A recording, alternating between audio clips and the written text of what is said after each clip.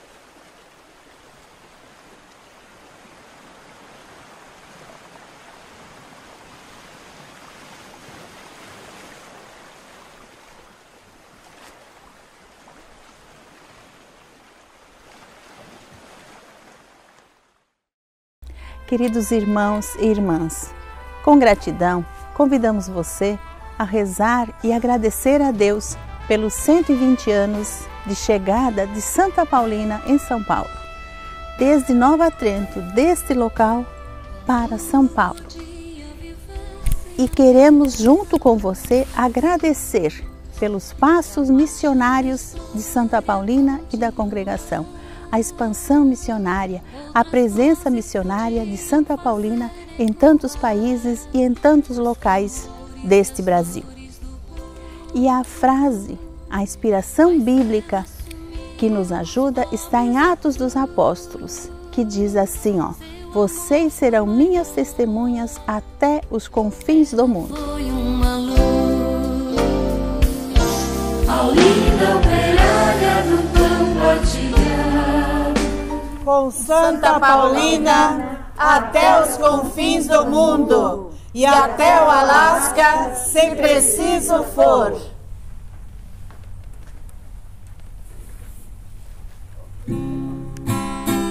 Chegou a hora de mostrarmos quem é Deus.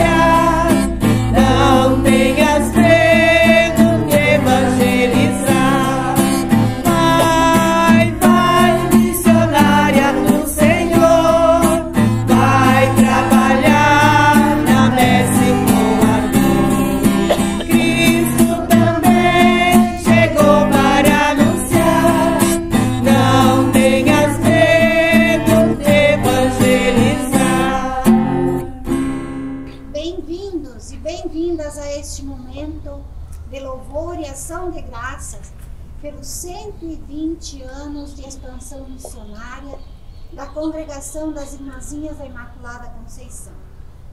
Na pessoa de Santa Paulina, trazemos muitas irmãzinhas que doaram e deram sua vida a serviço do reino e da missão, principalmente em lugares de muita dificuldade, de abandono, de exclusão e de injustiça. Somos agradecidas e agraciadas pela nuvem de testemunhas que o nosso bom Deus nos concedeu. Por isso nós queremos cantar louvores. Eu te exaltarei,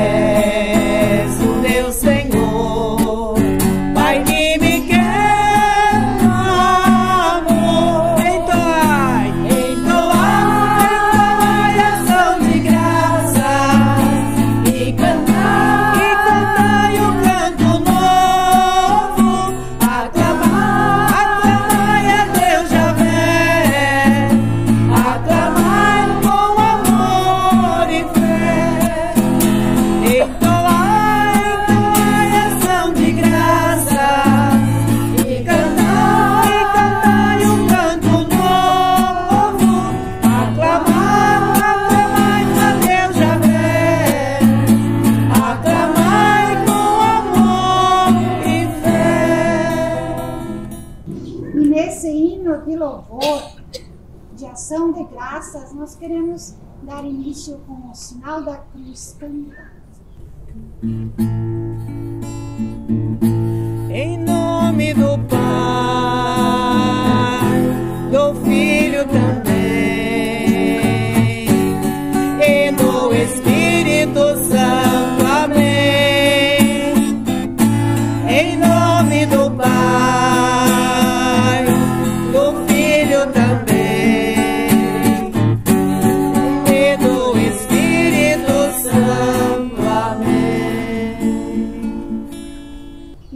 Breve relato, somos convidadas, convidados a refletir e meditar como Santa Paulina vivenciou a missionariedade em sua vida.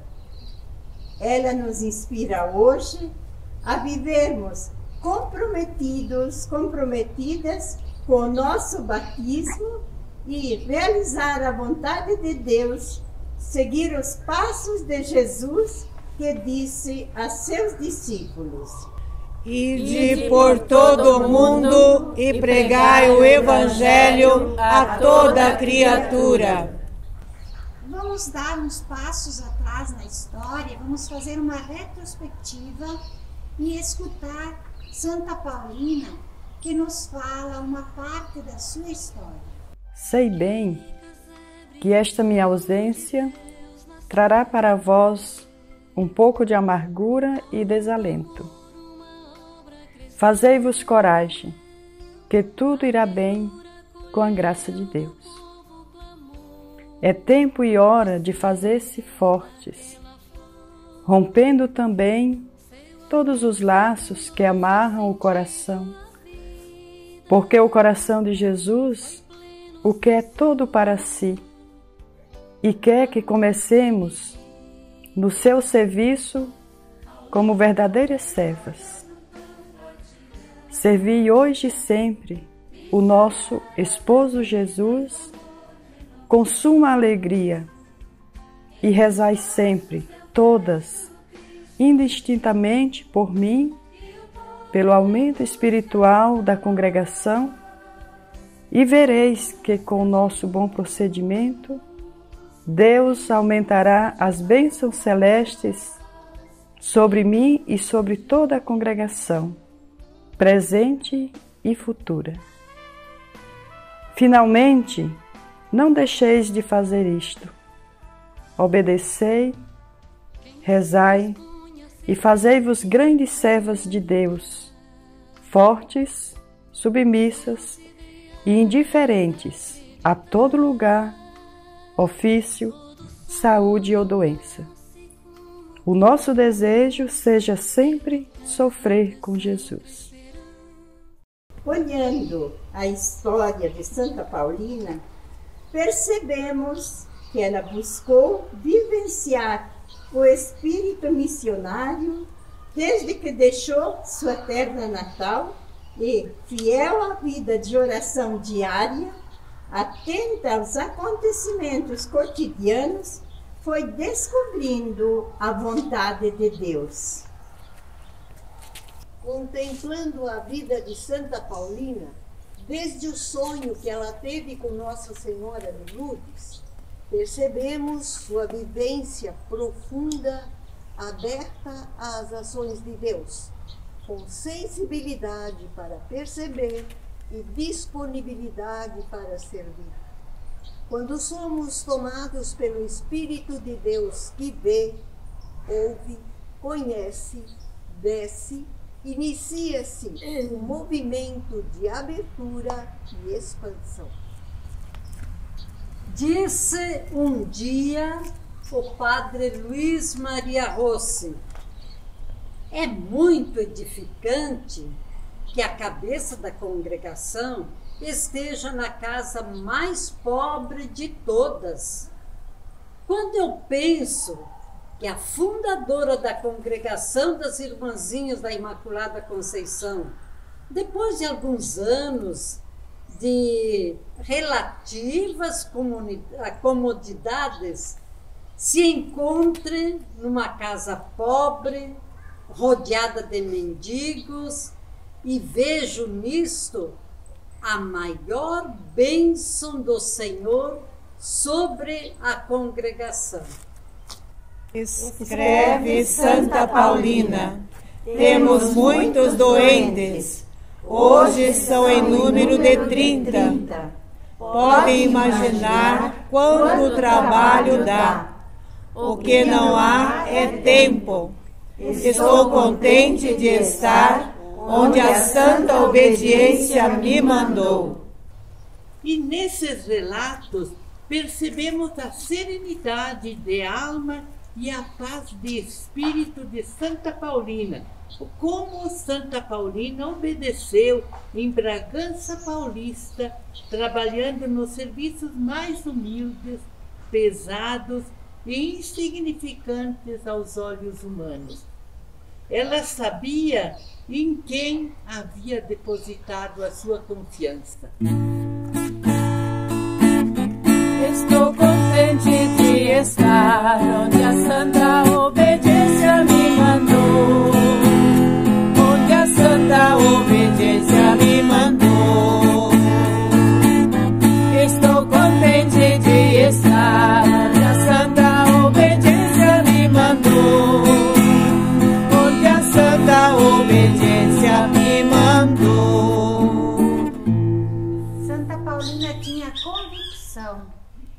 a congregação era obra de Deus e de Maria Imaculada. Movida pela fé pela força do Espírito de Deus, foi para São Paulo para cuidar dos menos favorecidos. O fundamento da vida missionária de Santa Paulina, assim como dos discípulos de Jesus, se baseia nas palavras do próprio Jesus: Sereis minhas testemunhas até os confins do mundo, e para isso recebereis a força do Espírito Santo. E de por todo o universo meu reino anunciar. Dizei a todos os povos que eu vim para salvar.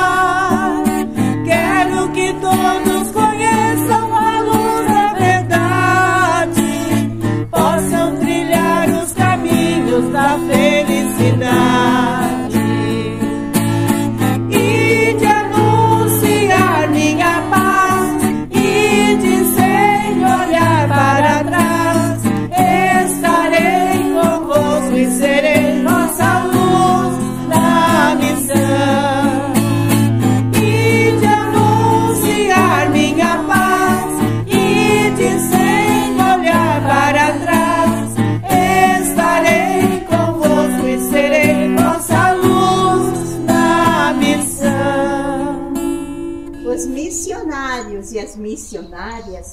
São incansáveis anunciadores da palavra de Deus. Com o coração aberto e ouvidos atentos, vamos ouvir o que nos diz esta santa palavra.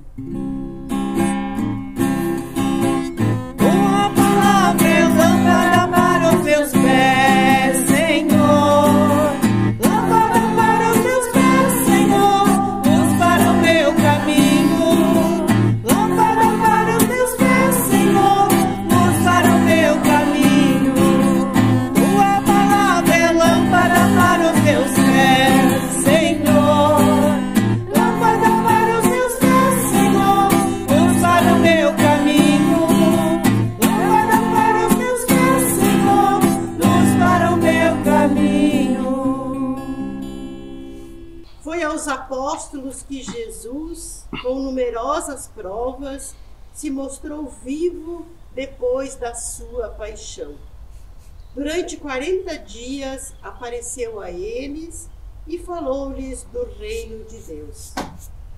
Estando com os apóstolos numa refeição, Jesus deu-lhes esta ordem: Não se afastem de Jerusalém. Esperem que se realize a promessa do Pai, da qual vocês ouviram falar. João batizou com água, vocês, porém, dentro de poucos dias serão batizados no Espírito Santo. Então, que está- os que estavam reunidos perguntaram a Jesus: Senhor, é agora que vais restaurar o reino de Deus? Jesus respondeu: Não cabe a vocês saber os tempos e as datas que o Pai reservou à sua própria autoridade. Mas o Espírito descerá sobre vocês e dele receberão força para serem as minhas testemunhas em Jerusalém, em toda a Judéia e Samaria e até os confins da terra.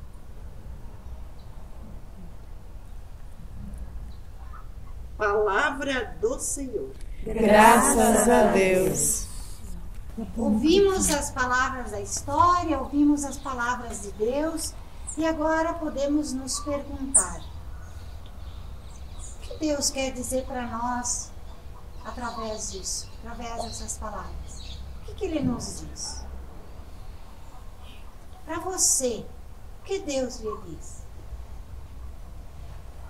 O que significa para nós hoje sermos missionários, missionárias? Como temos vivido o nosso batismo?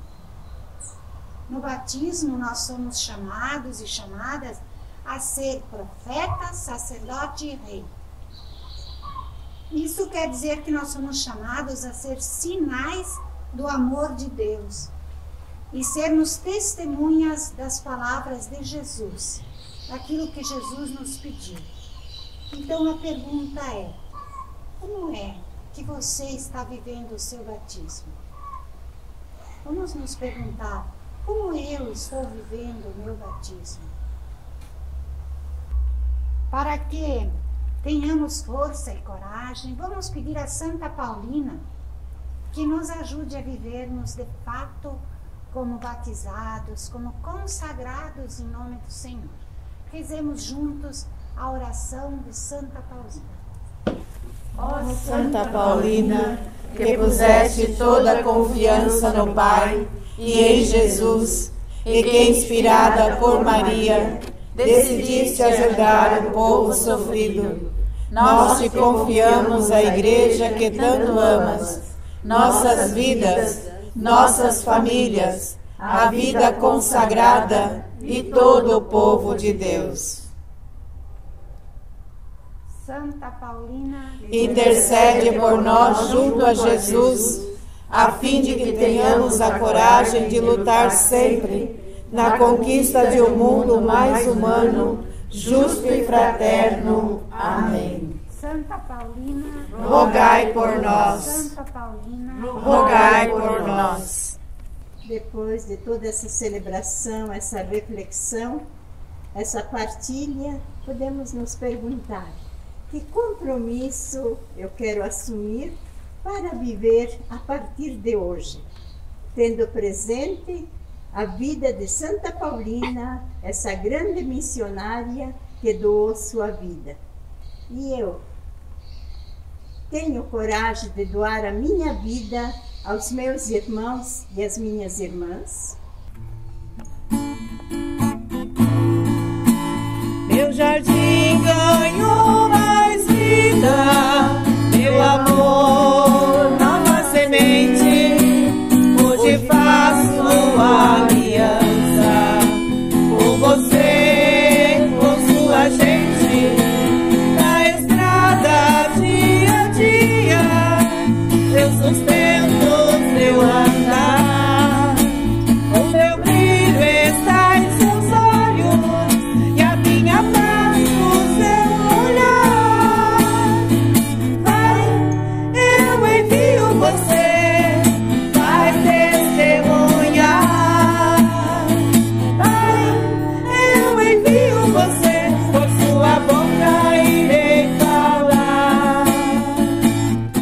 Saindo deste local de Nova Trento, há 120 anos atrás, Santa Paulina dirige-se para São Paulo com uma missão muito especial: cuidar dos ex-escravos e de seus filhos, privados em toda ajuda e defesa. Sua coragem, sua ousadia e olhar profético contagiou e engajou muitos jovens para a bela missão de uma vida consagrada. As irmãzinhas da Imaculada Conceição, hoje presentes em mais de uma dezena de estados do Brasil e diversos países, carregam em seu ideal uma certeza: essa obra é de Deus e é de Maria Imaculada. De Nova Trento, Santa Catarina, a Bragança Paulista, São Paulo, e de São Paulo ao Brasil, do Brasil ao mundo, para tornar Jesus Cristo cada vez mais conhecido, amado e adorado por todos e em todo o mundo. Sim, o fundamento da vida missionária de Santa Paulina, assim como dos discípulos de Jesus, se baseia nas palavras do Divino Mestre que diz: Sereis minhas testemunhas até os confins do mundo. Sereis sempre assistidos pela força do Espírito Santo, se fordes fiéis até o fim. Que Santa Paulina abençoe a todas as irmãzinhas, missionárias e missionários, colaboradores e colaboradoras, devotos e peregrinos, hoje e sempre. E temos aqui uma relíquia da nossa querida Santa Paulina. Agora, invoquemos e recebamos a bênção. Receba agora a bênção com a relíquia de Santa Paulina, em nome do Pai, do Filho e do Espírito Santo. Amém. Obrigado a você que nos acompanhou neste momento orante celebrativo dos 120 anos da saída de Santa Paulina, da sua ida para as missões em São Paulo.